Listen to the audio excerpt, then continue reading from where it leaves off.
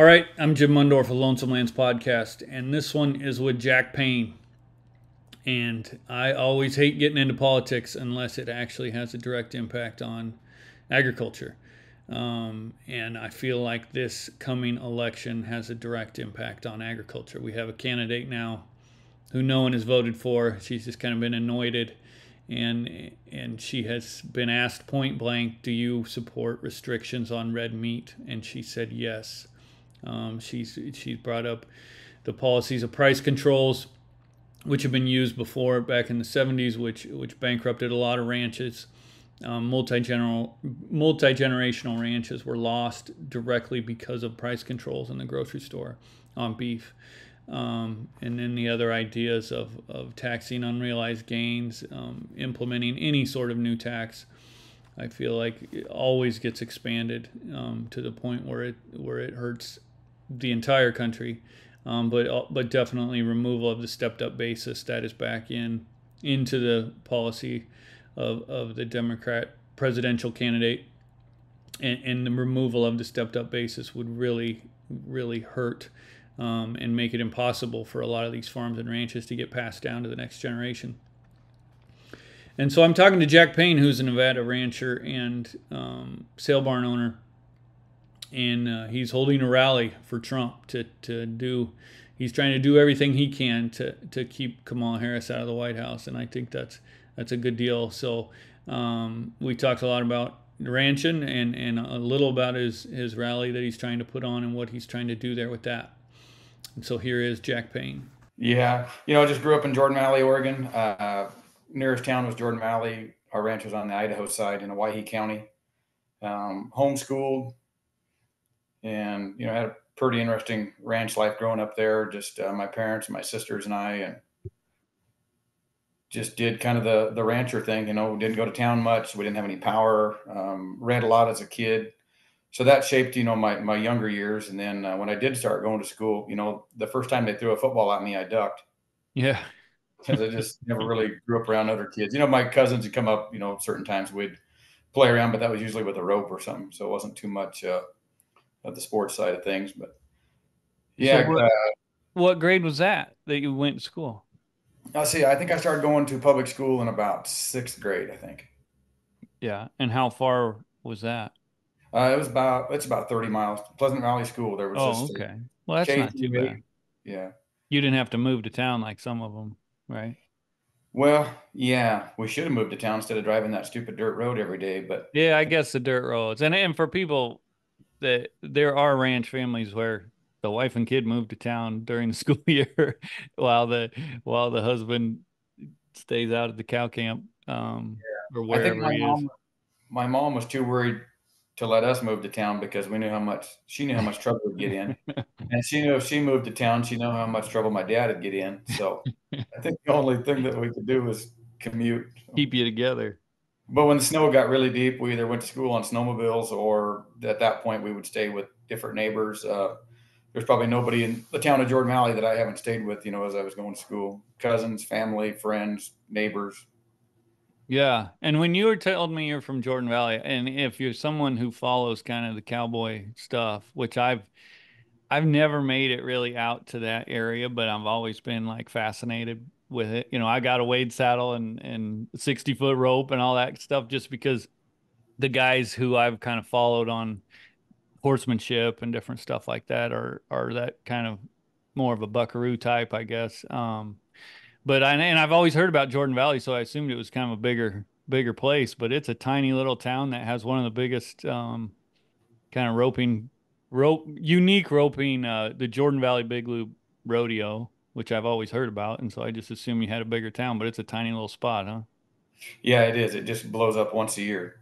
huh. Yeah, it's pretty cool growing up there. Just you know, the Jordan Valley Rodeo. Like, I mean, you looked forward to that all year. That was uh, that was the big deal. So yeah, everybody from the whole neighboring, every, every all the ranchers come in for that one, huh? Yeah, the first time I met you in person was at uh, I think when we were in Nashville for the U.S. Cattlemen's, and right. I saw your hat and I was like, damn, that guy looks like he's from Burns, Oregon, or Jordan. Yeah, that's and and I saw your hat and I was like, you don't look like you're from Nevada. I guess at least the Nevada guys I've talked to. Um, how come you're not all buckarooed? Oh, I don't know. I've always just been kind of the. I'll have to be careful what I say, but you know the. Some of the best cow, cowboys I've ever been around have a flat hat, and some of the worst cowboys I've ever been around have had a flat hat. So yeah, rodeo world, we just kind of grew up. You know, nobody in Jordan Valley to speak of is kind of the, the flat hat crowd. They all got a just kind of a cowboy hat. I mean, it's not really the, the hat that makes you a hand; it's what you can do. I've always yeah. said I'd rather have a guy with his ball cap on backwards and long hair if he can get the job done. You know, and uh, right. uh, so much anymore is all about how you're dressed and the bits and spurs and saddles, and that's all cool. I mean, I'm, I'm all into that stuff, but one guy lets the cow get away and the other guy gets her roped. You know, that I'm going to make the decision on which guy gets her caught. Mm, you grew up kind of around rodeo. Not really. I mean, it was just the Jordan Valley Rodeo kind of was the big deal, you know. So yeah. it was like and that's more of a buckaroo type deal with the long ropes and yeah. Yeah. Yeah. So that's you know, I mean, somebody asked me when I was five year old, five years old, what I was going to be when I grew up, and I was going to be a bull rider. You know, so that was. Yeah. They had so bull riders. Did you do that when you were young? Yeah, I rode bulls and saddle broncs. Um, actually won way more money riding bulls than I did saddle broncs. I just never was very good at, at cutting loose and spurring one. Um, we kind of grew up riding some pretty trashy horses that uh, would buck you off. And so it was, I was more about getting them rode than I was uh, the points. And, and another thing, you know, high school rodeo kind of shapes your, if you could stay on, you would win, which was the worst thing that could ever happen to you if you're wanting to be a good bronc rider, you know. Right. Um, so I was always shooting for the all around, and I, you know, I could get by them, but I never could spur one very good. So, hmm. spent so a summer. How, go ahead. I spent a summer in Canada, and that that kind of ended my bronc riding career because you can't get by them if you don't, uh, if you can't spur one. they're going to lawn dart you real quick because they're so big and powerful. So. Yeah. Um, and so how'd you end up in Fallon?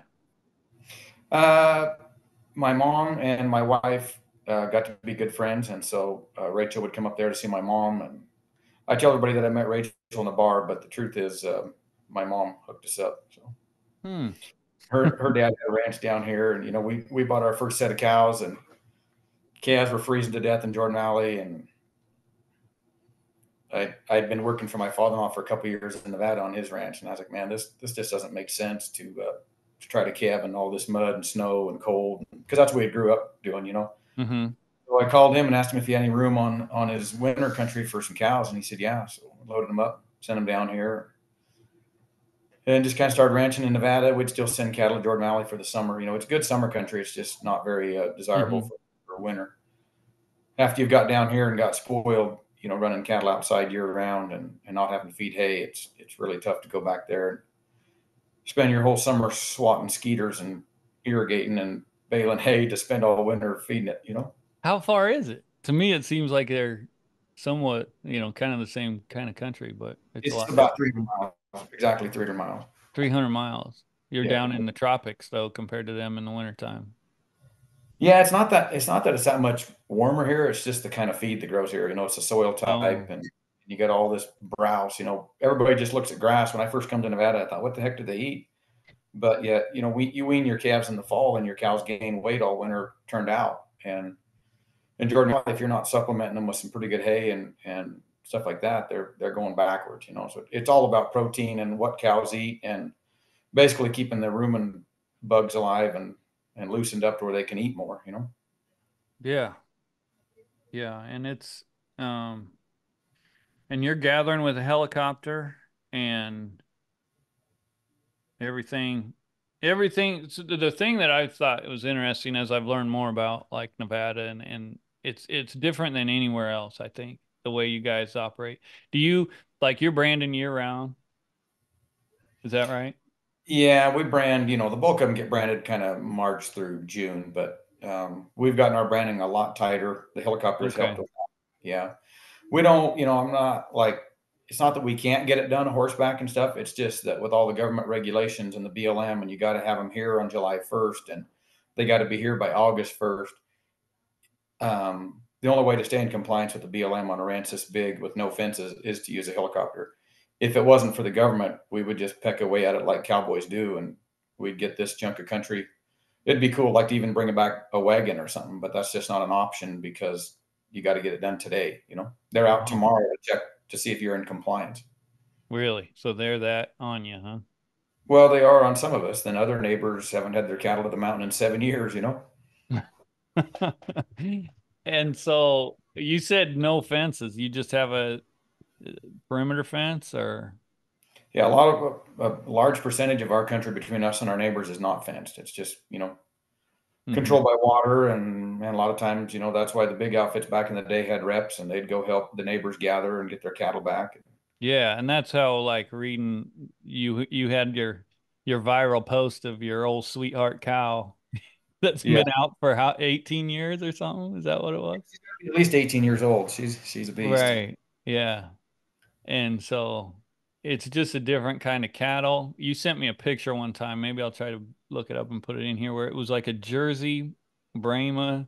It had it was the kind of the wildest looking cow I seen, but that's that's kind of um, you guys do what you can to get to grow cows, I guess. Um, yeah, the, the, we used to have a lot of milk cows. You know, we would uh, buy a lot of late calving cows out of our sale barn. You know, and in this, we haven't talked about the sale barn portion of this, which is a huge, huge chunk of our operation. But uh, buy a lot of those late calving cows that other ranches sold either because they were open or their vet called them open, but maybe missed them, or the rancher just told them, hey, if they're not calving by the first of May, just call them open. You know, so we buy a lot of those kind of cows, and then we should have just left them alone and let them calve in June again the next year. I've learned the long way, but uh, we were trying to get those calves pulled off those cows and get them to cycle back. You know, catch them up, get them back into March. So we had a bunch of nurse cows. We'd be pulling those calves off and grafting them on, and, and I had some Brahma bulls that I put on my Hereford cows, you know, to make F ones, and uh, had a couple bulls that were kind of long footed or couldn't get around as good or whatever. So I put them on my nurse cows, and um, so yeah, we had these half Jersey, half Holstein F1, and uh, you wouldn't believe it, but just kicked them out as like four weight heifers, and some of them made really good cows. It's yeah, surprising. You'd think they'd have too much milk and just fall apart, but yeah, know, we did around. way. Um, the the dairy industry is full of trich, but don't tell them because uh, there'd be that many more pounds of Holstein beef on the market if they knew. yeah. Um, so are your bulls out? Because I know a lot of ranches up there have their bulls out year round. Is that are yours? No, we, we try to turn our bulls out in June. We don't want to calve too early. Um, yeah. Then we pull those bulls by, oh, you know, we don't want to be calving in too late. Like you can calve to November. You know, we kind of got, we kind of have okay. three calves. It's like an old rancher here in Fallon, Larry Kite, told me one time. He said uh, we don't have summer calvers. He said we have late spring and early fall, which is what he called a July calf. You know, so anyway, we don't want to calve too late in the fall because they're going to freeze to death. And any cow that calves from December through February here, they're going to get pretty thin. Time green grass comes. And uh, Rachel's uncle Marvin Casey told me once. He said a cow that calves in April will will always calve in April. And so I've always uh, I've watched that, and he's right. You know, if a cow calves in February, she gets too thin by the time green grass comes, and then she's she's either going to be open or she'll be late. And a mm-hmm. cow that calves late, you know, is going to get later. But a cow that calves in April after she's had a week or two of green grass, they just clean so much better and, and cycle back better. And calves are healthier. And those calves seem to outgrow the ones born in February anyway. So what's the point of fighting the predators and yeah, and Mother Nature, you know? Maybe them bulls out year round. It's not on purpose yeah, because you probably have some running around the way you talk. Yeah, we do, but like that's another thing with the helicopter. We're you know we buy a lot of sale barn cows, so we're very concerned about trich. So we test our bulls twice a year. Um, there's lots of ranchers in Nevada say that well we just can't trich test because we can't get them gathered, but we got as many acres as anybody and, and as rough as country as anybody. You can get them gathered if you want to. You know? Yeah, just how hard you want to try, huh? Yeah, but so uh, like, you sale barn situation, we just don't want to because we use a lot of those bulls on on like open cows we buy in the fall through the barn, and then we want to put them back on our base herd in the spring, and we sure don't want to be taking trich from open cows and putting it back on, you know, getting it into our, our base herd. So we are really strict on getting everything gathered and getting them trich tested. Yeah. And so your sale barn, how'd you end up at the sale barn? Nevada livestock market.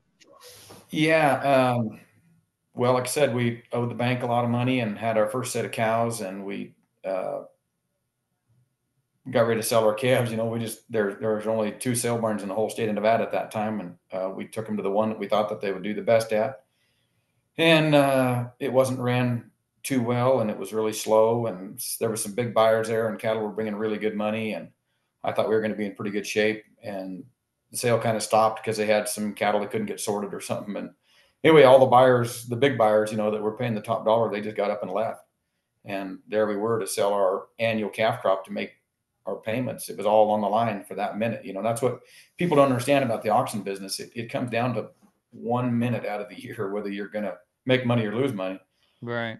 So uh, the market dropped like 20 cents, you know, when those guys left and, and we took it in the shorts big time. So it was kind of at that point, I was like, there's a lot of cattle in the state and so many of them are leaving going out of state because they're not getting a, a fair deal here. So we took a big risk and the one sale barn shut down. We went to the landlord that, that owned it and leased it from him and started Nevada Livestock in 2006. And you're not an auctioneer.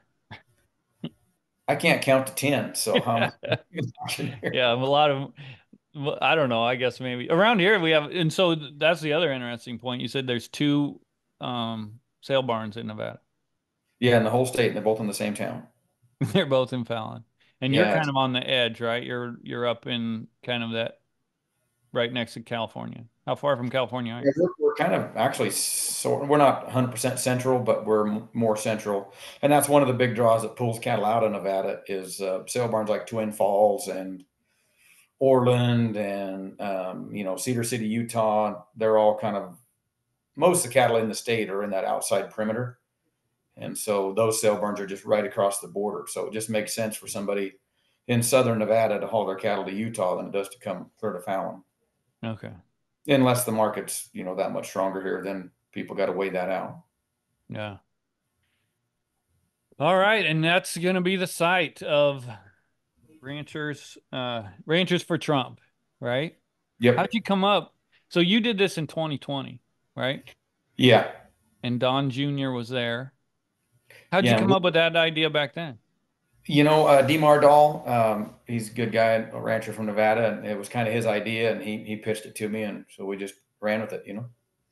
Yeah, and so you, did you do all the same stuff back then? You had the roping and all that. No, we didn't have any of the roping events. Uh, it was all kind of last minute, to be honest with you, because uh, we didn't know that Don Jr. was coming until like the day before.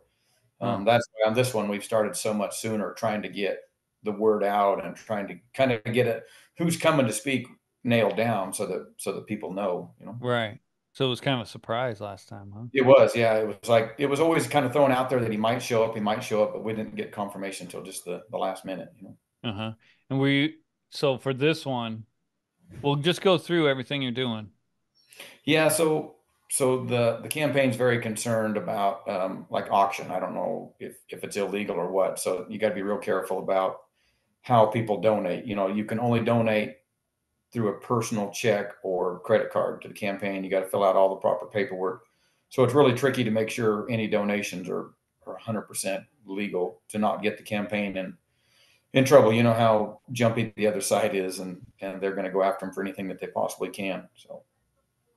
Yeah. Uh, this one we got, uh, you know, we're going to have the rally, the speaker. Um, we're working hard to try to get uh, Congresswoman Harriet Hageman here to talk about the uh, her bill, you know, opposing mandatory animal ID. Uh, working with her with her campaign to try to get her here, and then just whoever we can get from the campaign. Working hard, kind of doing the grassroots uh, with surrounding states around us. You know, just calling ranchers in those areas and letting them know what we're doing. And they're reaching out to their neighbors and friends to, to gather up cattle. Um, you know, our goal is to get somewhere between 500 and 1,000 head of cattle donated. But like I said, we we got to send them the check for for what their cow brought, and then they have to write the personal check to the campaign. All right, got to be very clear about that.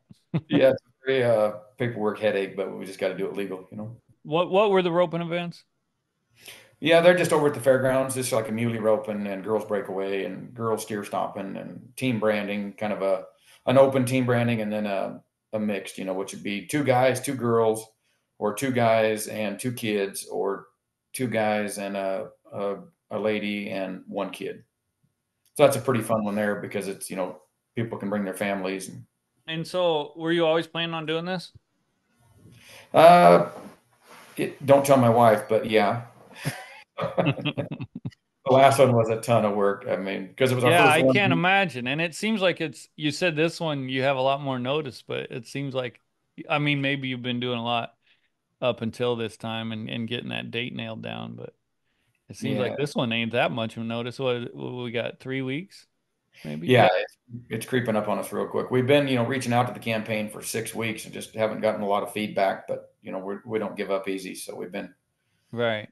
We've been hounding them, and, and we're getting closer. You know? Are why do you think that is? No I- fe- little feedback or Yeah, I don't know. Just couldn't tell. I think just um, well, you know how how hard it is to get employees and to get people to do what you want them to do. And if you're trying to, I mean, I'm just trying to run a ranch with a few employees. I know how hard that is. What if you were trying to reach out across the nation and build a build a ground game? You know? yeah. But I would think I would think this would be the ultimate photo op. You know Yeah, what I mean? Um, in out in the middle of nowhere cattle country, and and like you said, Nevada is kind of a toss up. Um, they are they're a swing state. yeah. I was watching last night. I was watching Fox News, and and they were doing all these analysis, you know, and, and pretending this and pretending that, and, and they got down and they said Nevada was so close that they actually gave it to Harris, which motivates me that much more because if if we're that close, we actually could make a difference. Yeah. And that's the whole motivation, I guess, is and Yeah. I've talked about that before on some of this politics stuff. You get into it and then when you lose, you kind of always look back and be like, well, what what else could I have done? Right? And Like and I feel like you're one of those guys where whatever happens, you you're probably you're doing it all. You're you're doing everything you possibly can. Yeah, And what if we you get down to the end of this deal and and it's like 300 votes or something, you know? yeah. And that, And that's then why do the campaign ad. We're, we're working with the film crew to get a campaign ad made. We don't know if if the Trump administration or the Trump campaign will use our ad, but we want to get it built and present it to them to to hopefully use the money raised in this event to run that ad. You know, our theory is that everybody is voting based off of emotion, and they're either pro-life, they're pro-choice. They've already got their mind made. They either hate Donald Trump or they love him, but nobody is voting with the thought of, of possibly being hungry. You know, what do they say? We're only three meals away from from mayhem. right, as far as what's in the store. Yeah, they stock Um, those big grocery stores in those cities like three times a day. So, if Kamala's policies lead to red meat caps and price controls, um, it won't be a matter of her limiting people from eating red meat. It's just that we won't be in business anymore, so the red meat won't won't be there. And we hope that people can think back to the days of uh, COVID when the grocery, you know, the meat counter was was empty, and um, hopefully that resonates with people where they think about that when they when they go to cast their vote. It's it's more than just your emotions. Um, what if you can't buy beef? Yeah. And that's one thing I'll probably try to hit on multiple times. It's like you talk about how there's people who hate Donald Trump or people who don't, but when you have a presidential candidate who said, I mean, she was asked point blank, "Do you support restrictions on red meat?" and she said yes. I mean, that's you can hate somebody as much as you can, but you cannot vote. I mean, if you believe in agriculture, especially the beef business, you just cannot vote for somebody that says that. Um, and even like the health and all that you get into all that stuff. Um, it's just having restrictions on food is is the ultimate like communist ideal, I feel like. Yeah. Um, and, and so that's why that's why I wanted to have you on and and you know let you talk about that stuff. But also kind of if you look back on and you had mentioned this, I guess, look back on last Trump administration and how kind of wrong things went there a little bit um, as far as who was helping him out or, you know, who had his ear as far as ag policy and different things like that. Um, you know, Sonny Perdue is somebody I've talked about as, you know, they gave millions of dollars to JBS and some of the Packers during during the Trump years, but um, just because so I feel like things like what you're doing here, and I think you mentioned that too, like this would be a good thing to actual get actual ranchers and, and maybe get more actual ranchers have more of a voice in in the next administration.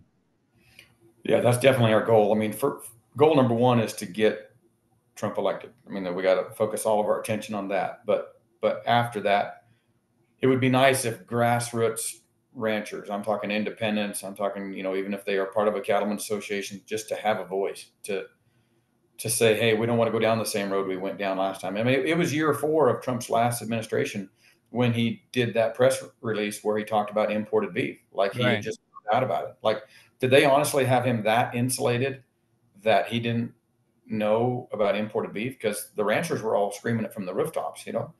Yeah. So it's our goal here to to to have a voice to cut through the leaders of the Cattlemen's Association. I don't care what association you're with. The independent ranchers need to have a voice. Yeah. Yeah, get Harriet Hageman out there and have her be ag secretary.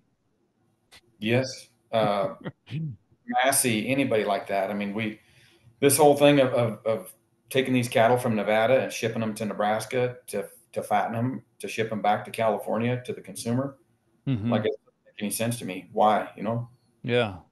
If you want to be green and you want to save uh, the environment, why are you putting this cattle on a truck 1500 miles to, to ship boxed beef back 1500 miles. That just doesn't make sense.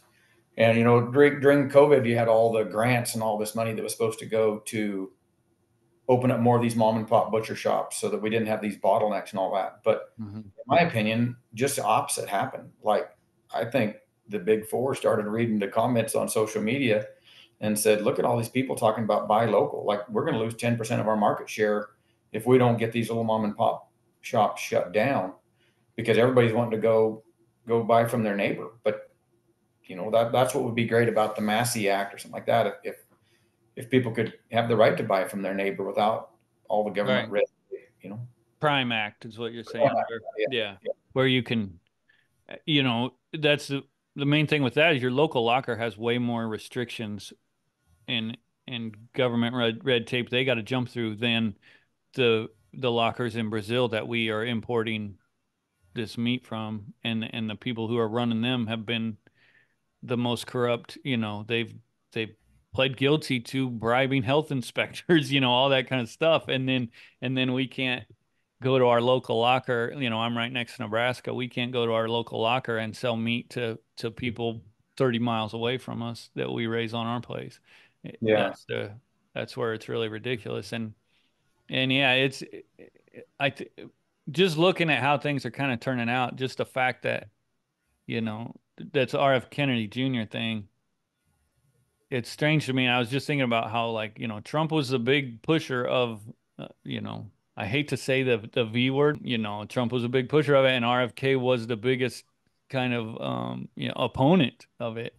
And for you know, Trump hasn't came out and said, "Well, I was wrong," or you know, right. screwed that up. But I feel like he almost has by just bringing in by bringing in RFK Jr. Um, and there's some interesting things going on in agriculture as far as the, the people that he's been talking to. And you wanted to have Hageman on because of her, you know, she's mainly gotten a lot of big fans in the agriculture community because she has come out with this ban on mandatory electronic identification. Um, and I thought I'd be curious, like, what would, and I've talked about this before, you know, but if you're not familiar, there is now a rule USDA is going to in November all cattle of 18 months or older of a certain age, I guess, breeding cattle when they cross state lines, they'll have to have a mandatory electronic identification ear tag in their ear that can be read by an electronic reader. Um, and I've talked about how this is getting the toe in the door. The USDA has come out and said they plan for all cattle from birth to slaughter to be required to have these ear tags. Um, and what would that do? Just like, I guess, from a rancher point of view, from a sale barn point of view, how big a pain in the ass is that whole deal going to be? Well, Nevada is a bang state, so we have to bang every single heifer before she sells, and it's a pretty hefty fine if one gets out of here not banged. So we already know what it's like to put half your cattle through the chute before the sale, right? And now we'll be required to put them all through the chute before the sale. Of course, a lot of the heifers that come in here are already bangs because the rancher did it. So if we have a 7,000 head feeder sale, we're not banging 3,500 heifers. We're banging 1,500 to 2,000.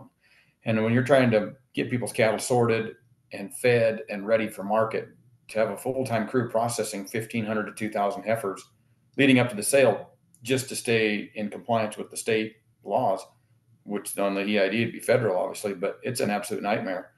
So now picture a 7,000 head sale where we have to put an EID in, in all the heifers and all the steers.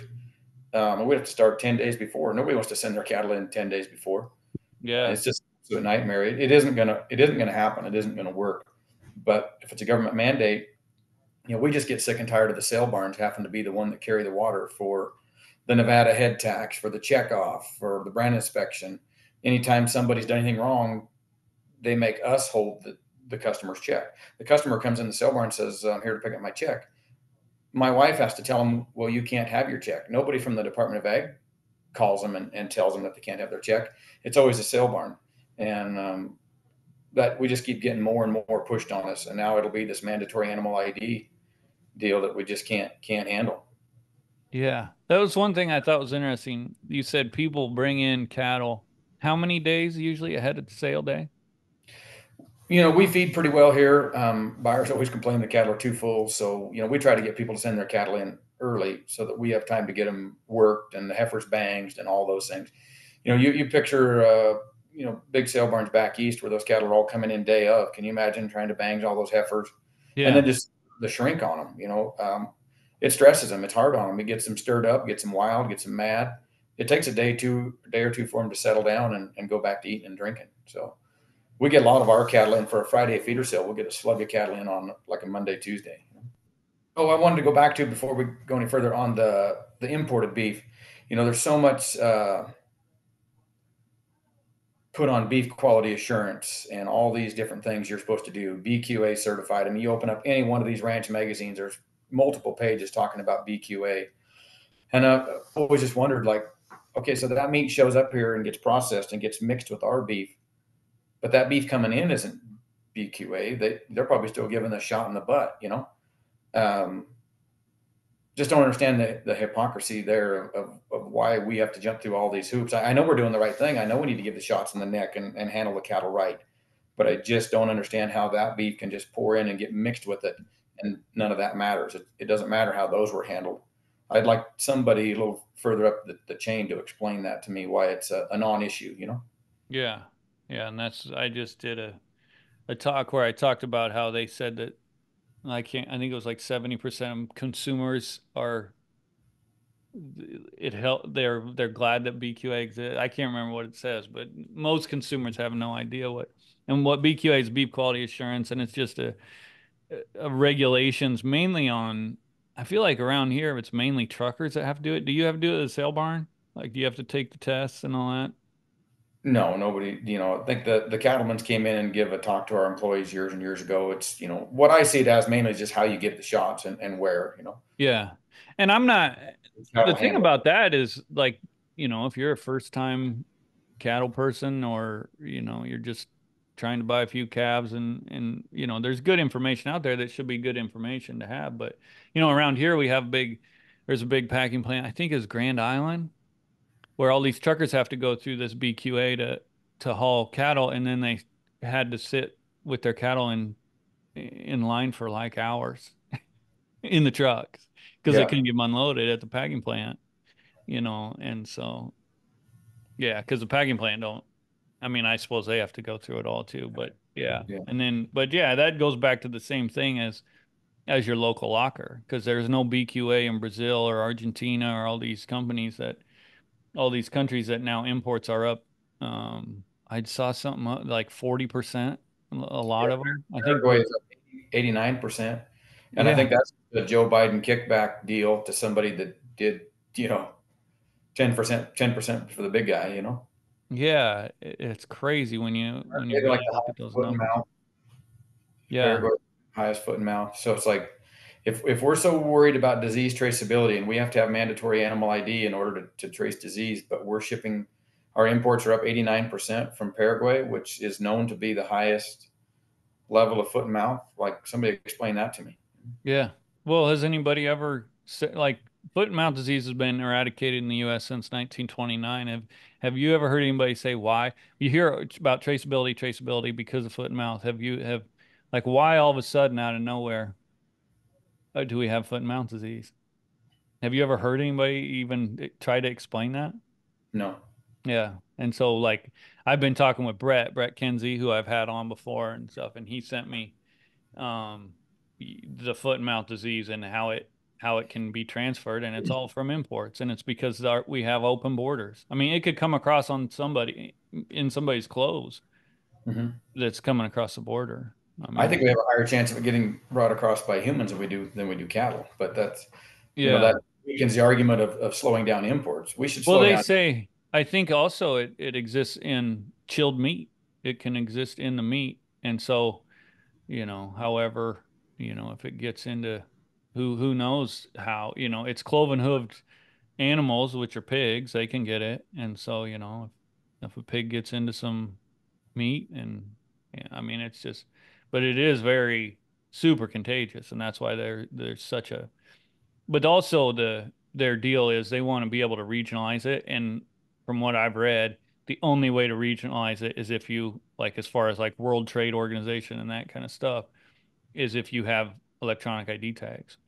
And mm-hmm. then if you're able to regionalize it, then you can still sell meat. You can still export your meat to wherever from the regions that don't have it.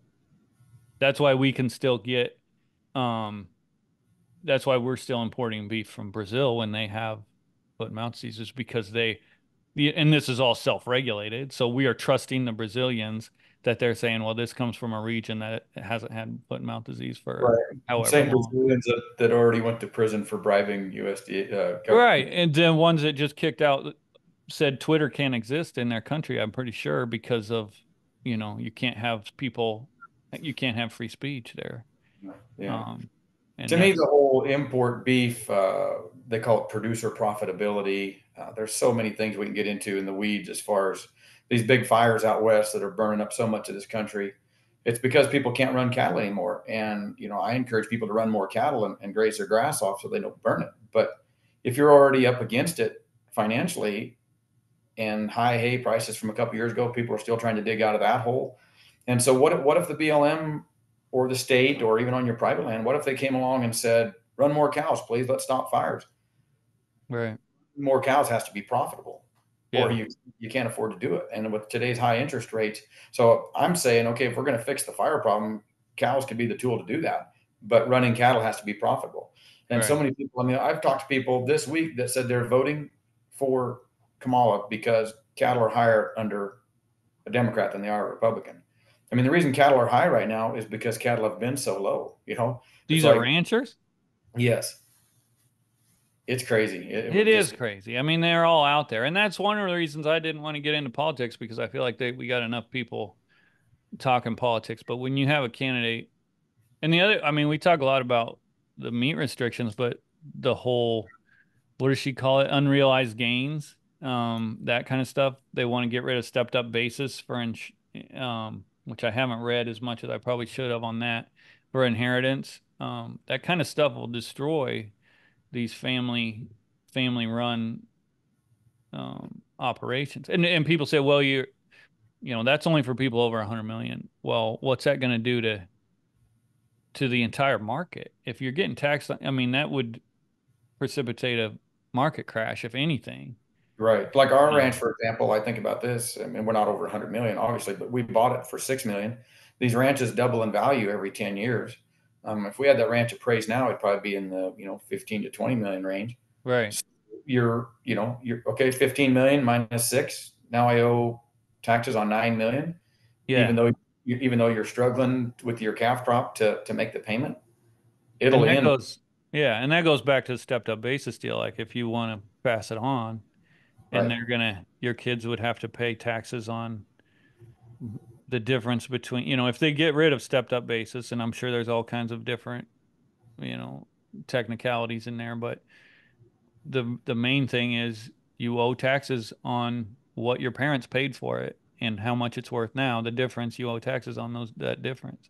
Yeah. Um, and then when it comes to land most people that have a lot of it can't afford it can't afford those kind of payments right. um, or tax bills without selling out. And so then when you sell out, who's buying it? Well, you know, Bill Gates has become the biggest farmland owner in the past few years, and um, you know, it, it, it's crazy what what could happen. But that's one of the things on this rally that we're encouraging farmers to be to be a part of it because you know a couple years ago the cattle were low and hay was high and people were looking at the hay cost. It was going to cost more to feed the cow through the winter than the cow was worth. So they sold out and and now hay is cheap cheap and and cattle are high. You know it's just this this swing this pendulum just swings one way and then the other. And um, we need to if we could make grazing great again if we could make ranching profitable again and keep it profitable not just one year at a time like 2014 if we could make it profitable then ranchers could get back to running more cattle again and then hay farmers would have somebody to sell the hay to. If if if these hay prices don't get higher there's going to be a lot of farms go under and there we are. Now who's going to buy it? Is it going to be china? Is it going to be bill gates? Yeah.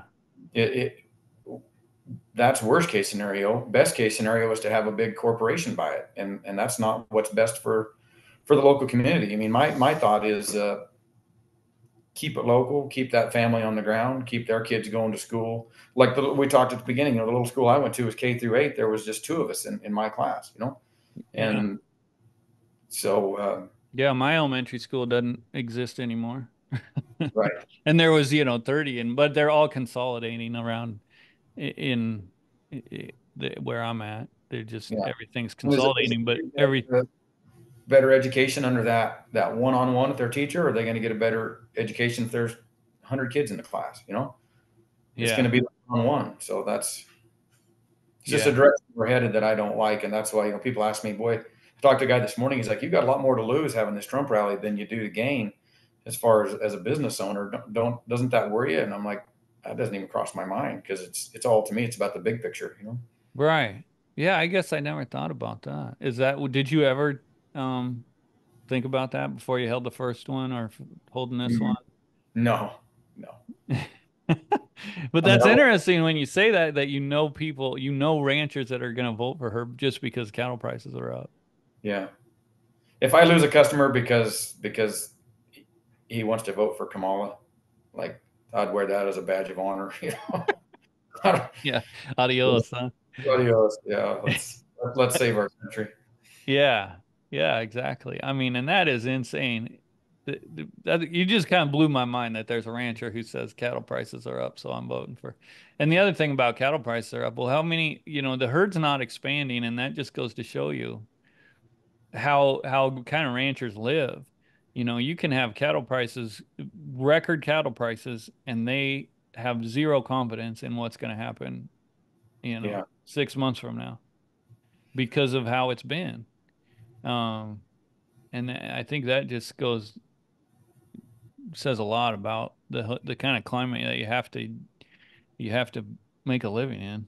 Yeah, I think that's what's made you know the LRP so so popular. It's like just going into this election, if you own a bunch of cattle and you're not protected, um, I've never had an LR. I guess I had an LRP a couple years ago on a slug of yearlings, and then the market went up, and I just kept waiting for the bill to come in the mail. And then one day I got a big check. I couldn't believe that that uh, we got paid on those cattle because the market had gone up. But in this in this uh, election cycle, I'm, I'm obviously pretty nervous, and I'm a very optimistic guy, way too optimistic usually. But yeah, I think I just don't see how it can turn out good.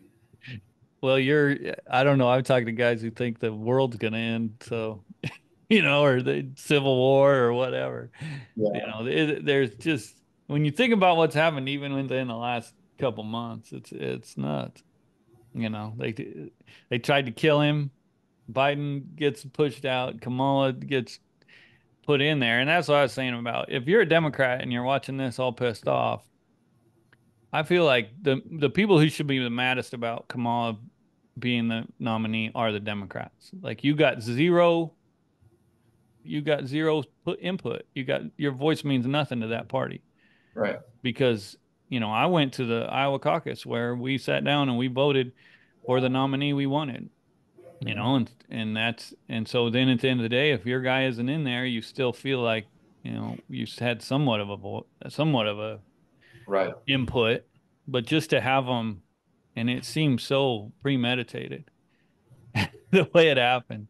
Yeah. And, and, so yeah, I mean, you can't. I don't know. And and that's the choice you have. You know, so that's the choice you've been given. So. Yeah. With that, these poor ranchers out here, you know, especially if you run on any federal land, I mean, they're just they're coming at you from every angle, every day. A new, you know, the they're shoving a new monument through in Oregon, and Yeah. you know, we got this big Navy expansion. They're taking a bunch of our country. You know, you just start looking at all the things that are that they're using to put ranchers out of business. Um, the wild horse populations that are they're just growing up, you know, out of control. They have these AMLs, appropriate management level. Um, it says in the law that they're supposed to keep those horses at that number, but um, we, we got a neighbor that's supposed to have 12 horses on his ranch and has 600. It's 50 times over.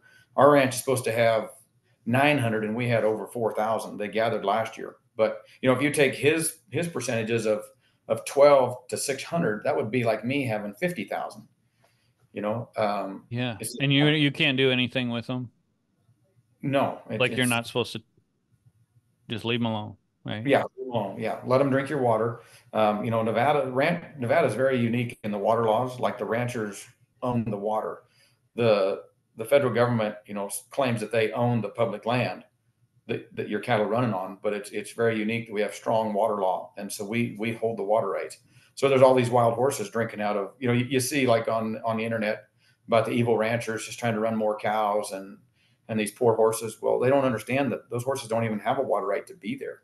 I'm surprised that ranchers haven't gotten together and done a class action lawsuit and and sued the government for for illegally using their water. You know, the problem with ranchers is we you can't get two of us to agree on anything. So Yeah. But that's in but it goes back to what you know the goal kind of of what we should have is just to have somebody like you explain those issues that almost nobody knows about. Um, you know, like you talked about the Navy took how many acres? the Navy's taken a hundred thousand acres just of our of our public land. Um, that you're running cattle on 100,000 acres. All all winter country, yeah. And then they're taking 439 acres of our land just in eminent domain, just taking it. And, then, and what's crazy about it, it's the only private property left in that valley. It's called Dixie Valley. It's just a big old Nevada desert valley with a big old alkali flat. And um, on the north end, there's some farms, but down in this in this area where they do their training, it's the last private property. So I think that BLM permit we have there is 100,000 plus acres, and it's the only property, private property we can gather into to ship out of, to camp, build trails, leave your saddle horse overnight. They're just taking it. So we will have this, you know, huge allotment down there with nowhere to gather to or anything. And then the Navy came in, not the Navy, but the state came in and ground up the highway. There was a paved road in there. My wife's mom drove school bus in there in the early 70s and, and it was paved. And it was paved up until a couple years ago. Then they went in with the state and ground up a paved road and made it back into dirt. And the washboards literally are, are six inches deep. When you go down that road with a loaded cattle truck, about 10 miles an hour is as fast as you can go. And so they, the the Navy says, "Boy, we're really upset that the county or that the state uh, ground that up." But okay, you're you're taking my land in eminent domain to get people out of there, and you're going to try to tell me that grinding up the highway is just coincidence? Like people used to go down there and camp like crazy, big fancy RVs and side by sides. Now nobody goes there. It's it's a ghost town because you can't get there without. I mean, imagine going down there in your hundred thousand dollar RV and you get there and all your dishes are on the ground broke and you know yeah. Being in parts. yeah, so it, it's pretty crazy. And then uh, you know the wild horses, the the wolves. Um, I don't think that's all just coincidence. You know, look at Yeah. California. They they stopped hunting lions with dogs, and that's illegal. So now the lion populations have absolutely blowed up to where there are no deer. So as these, you know, you get further down the road, and and crazy things can happen. You know, maybe I'm the conspiracy theorist, but people in those cities don't have any food. They're they're going to come out to the country and try to find something to eat. And if the deer population's gone, I mean, my thing is, I just believe that their big plan is to control food. And if there's an independent rancher out in Nevada that can feed his family, feed his friends, and feed his friends' family, the George Soroses and the Bill Gates and those kind of guys are not going to be able to control those people because we're going to feed them. And Right. they've got rid of ranchers. They've got to get rid of big game. I mean, all these wolves that are wiping out these elk and moose and, and deer populations. That's not that's not just coincidence, in my opinion. Yeah. And I don't think it's conspiracy theory when she's asked point blank, "Uh, do you want to put restrictions on food, on red meat? Yeah. And she says Yeah. yes. Um, We're going to eat lab grown crickets and our lab grown beef and crickets and imported beef. That's the thing about imported beef is they control it, right? It's like a cow and a crow. you control the food that she eats. So yeah. even the wildest cow on the ranch is subservient to whoever's feeding her. And so they can bring beef in from Brazil, but it has to come through the government. So they'll control it. And right. and once they get rid of us as ranchers and independent beef producers and they control the lab grown beef, they control the imported beef, and they control the farms, all these people are, de- are dependent on the government. So September 28th. Yep. You got a all sale to get to today. What are, where are we at for time? You got to get out of here. Oh, I don't even know what time it is. No, I still got it. Yeah, I got, got a little bit. Yeah, yeah. So we have a feeder sale Friday, the 27th of September. I don't know how many cattle we'll have. You know, probably a couple thousand. And then on Saturday we'll have all the rodeo events that morning, and then we'll roll into the rally Saturday afternoon, and then the the big cattle auction here uh, Saturday evening for you know the cattle that are donated for Trump, and then Sunday we'll finish up with the uh, with the rodeo events, and then you know doing all the paperwork, getting getting the money to the campaign. Yeah, and Corbett's coming. Corbett's coming. Yep. Um, so there's there's one big name celebrity you'll have. we don't even need Trump. We got Corbett. yeah. Um, are there other? Do you do you have other people flying in? Like I, I we've talked. I, I would love to be out there and do that. We got so much going on, and I'm gonna I'm gonna be speaking in Bismarck for for the IBAN deal the weekend before. So, yeah. um, hopefully yeah. a bunch of guys from the U.S. Cattlemen show up. Uh, I hope the R-CALF guys show up. You know, that's that's one thing I wanted to, to talk about in this uh, podcast if we had a chance is just trying to to unite these associations because we really don't have that much um, difference of, of, opinions. We have, you know, pretty much right. the same opinions. It's just some some old bad blood from whatever happened however many years ago that, that I wasn't involved in. And yeah. I think if, if, if NCBA can keep U.S. Cattlemen's Association and, and R-CALF fighting with each other, then they're going to be able to go into Washington as the big old Cattlemen's Association that represents everybody. But if if these two associations can put the past behind them and, and walk in there in lockstep as two grassroots associations of guys that are that are connected to the ground, you know, our cowboy hat actually is is the right size for our head, and uh, you know, I laugh at those guys. It looks like their hat comes out of the box once a year, you know, that they're big cattlemen. I think that we we could go in there and actually get some momentum and, and talk about these real issues that we're, that we're talking about here today imported beef mandatory animal id shoved down our throats the big fire situation you know you, you, you hear these ranchers talking about the the head fire guy says says things like if this fire, fire goes for two more days i'll be able to get my, my second daughter through college it's like you're just burning up all this wildlife habitat and a rancher's livelihood and that's what you're thinking about is how you can keep the fire going so those are the conversations that we need to have with with the Trump administration of yeah actually going on. You know, he implemented his uh, what did he call it? executive order for um, fuels reduction in 2018. And you walk into these BLM offices and talk to them, and, and they don't even know what you're talking about. You know, so he needs to know that that executive order was 100% ignored. In that executive order, it talked about targeted grazing. I've applied for it on my ranch uh, four years in a row, and you might as well be, be speaking Chinese. It's just, it's not an option, you know? Hmm. Yeah. Yeah. Anything else you want to talk about?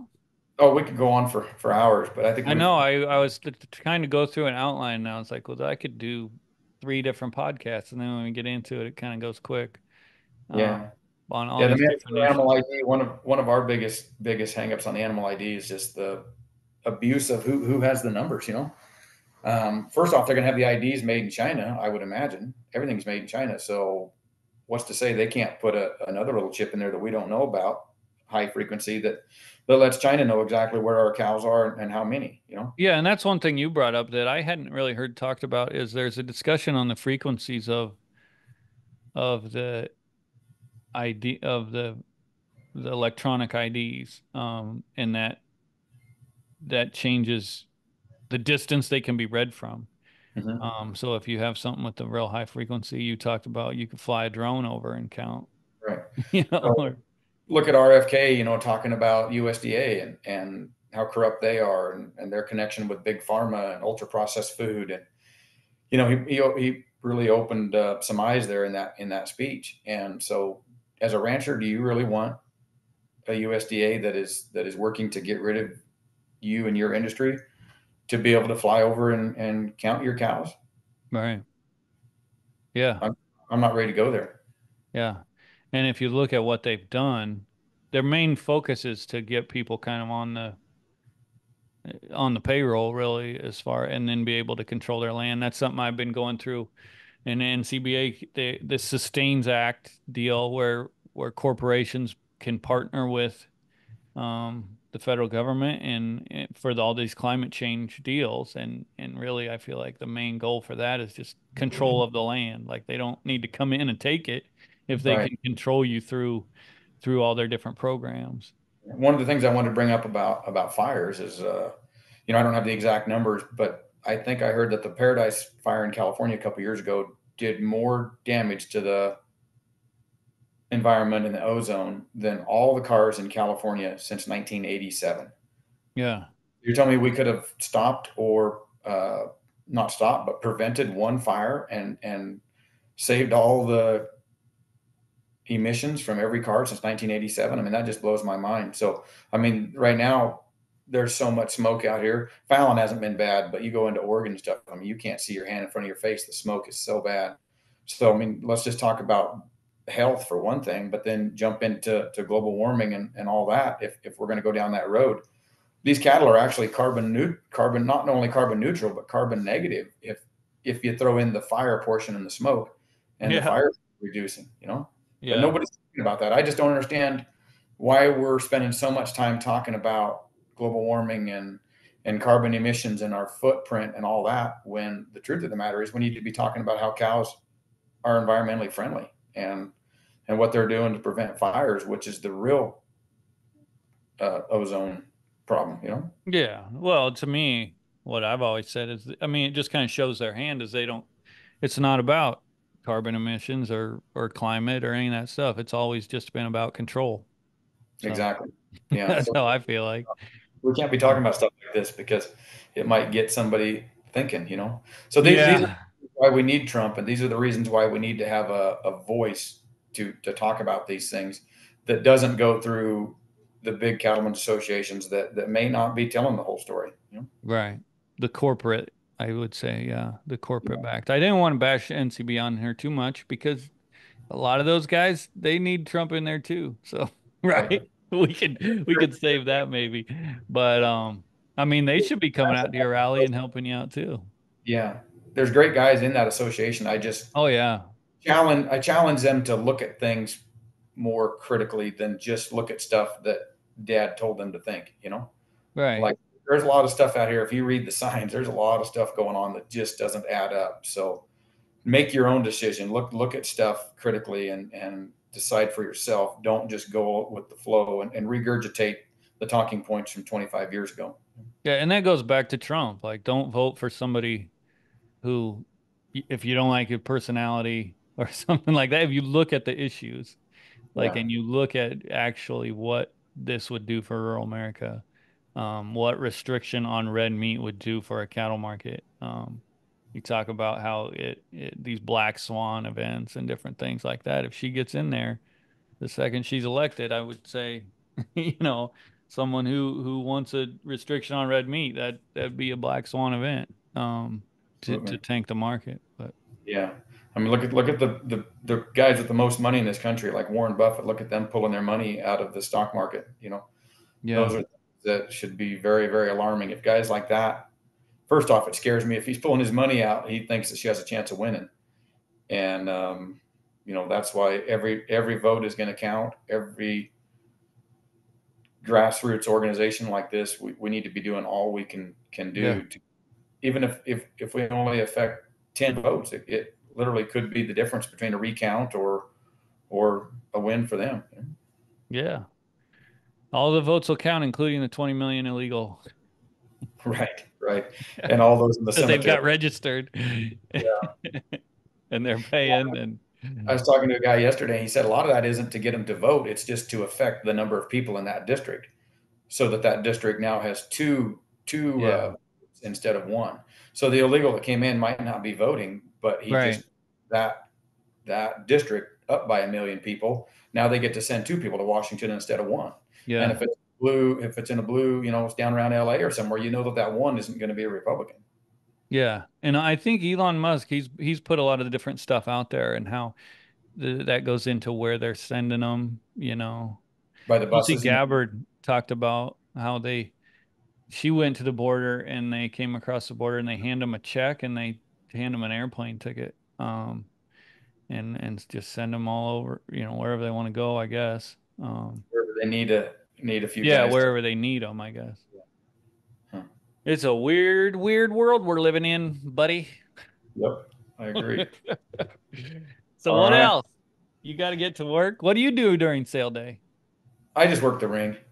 Yeah, like oh, you're just in the ring. I huh? the auctioneer because I, you know, I get to looking at the cow and I'm thinking about what she's gonna, you know, who's gonna buy her, what's she worth, is she calvy? I, you know, I'm always looking at things like that. I would be a absolutely horrible auctioneer. Yeah. I can run that out. One of the things that we try to do, you know, a lot of buyers are going to want one out in the ring. You know, they're always going to find one they want out. So, so you're sorting in the ring, huh? Yeah, I usually know which one in there probably is the one that that I would want out, and sometimes I'm right, sometimes I'm wrong. But if I can get that one sorted out while the auctioneer is still, still selling them, we can keep that momentum of the sale right moving. You know, so yeah, my spot. Yeah. All right. Well, yeah, you you get your schedule changed so you can get out here and uh we want well, I was thinking if we got a big like we've got I've got all kinds of stuff. We got kids stuff going on and then it's we might even be starting harvest by that time. So and I'm already taking off. I can't imagine getting on a, two different airplanes, two different airplanes in one week. So when I usually don't get on an airplane every couple years. So yeah, I understand. That's just it's a lot, but yeah. Well, keep spreading the word, and um, yeah, yeah, we'll just see how it goes. Is there anything? So as far as the fundraiser, is there anything like if people aren't able to come? It's on DV auction, right? Yeah, the sale will actually be on DV auction, but yeah, we got you know they can check out our, our website nevadalivestock.us. They can check out uh, Jack Payne on Facebook all of that stuff will be on there for the links that can go to. So that's our goal is to make this a national event, not just about Nevada. Right. You know, and so that can they donate through there or you have a place where it goes to the campaign or? Well, yeah, it's through that link, but it'll tie the money to our fundraiser, right? So right. go directly to the campaign, doesn't come to us, but we have like a, a bundler number, uh, three six seven six eight is the number, and so they got to make sure to put that on their check or or on that form so that the campaign knows the money came from us especially if we can get the campaign to, if we can pitch them that ad idea of the, kind of the beef industry and how Kamala will affect it. We want as much money raised through this event as we can to to try to blast that campaign ad out there to, you know, the urban Americans that, that really aren't thinking about where their yeah. food comes. From. Empty store shelves, I guess. Right. Exactly. But who knows what they're thinking about? yeah, well, they're they're they're they're fat and happy right now, and they don't care. But and just like I said, the, the, the trucking industry, for example, they have so much more power than they think because they shut those trucks down for a couple days, and just look at the snowball effect that has on on those cities. You know, like we're just so dependent on the government, it's just scary. Yeah. We were at the up in Oregon shipping cattle and uh, had a big fire there in Sands Basin, and it blew the you know transformers out or power poles or whatever. You don't even think about it, but you know, in that house at that ranch, there's an electric stove, electric fridge, electric heat so we had to go to our, our neighbor's house, no 90 years old. and He's out there making coffee on his on his barbecue. It's like it kind of opens your eyes just how dependent even we are as ranchers. You know, I grew up where there was no power and it was all wood heat and all that, uh, you know, and propane. So we were pretty independent, but we get luck, you know, used to these luxuries. And um, but yeah. there's gonna be tough times if, if those kind of things come at us. So hopefully people kind of start thinking about, you know, those those kind of things that could happen.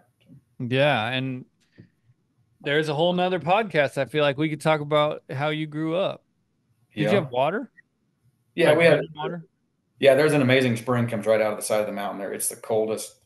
I hate water except for in the form of ice. Uh, oh. yeah, that water is so cold that there was there was no swimming. It's just a huge spring comes right out of the side of the mountain. But like, you you had running water in the house? Yeah, it was all piped to the house. It was. You had like a. It's a really cool ranch just in the middle of nowhere. It's very, very unique. Big old rim rocks and meadows and that huge spring. Yeah, and you're still running cows up there. Yeah, so my sisters have that part part of the ranch, and then my dad, you know, which was good on my dad. He didn't need any more work, but he went and bought another ranch just so that his kids would have enough, you know, room that they that they could all ranch. So, and that just comes back to what we do every day is we want to make sure that these ranches are are big enough that our kids can make a living on them and that they can carry on.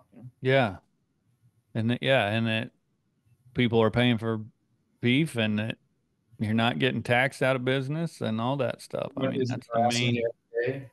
What's that?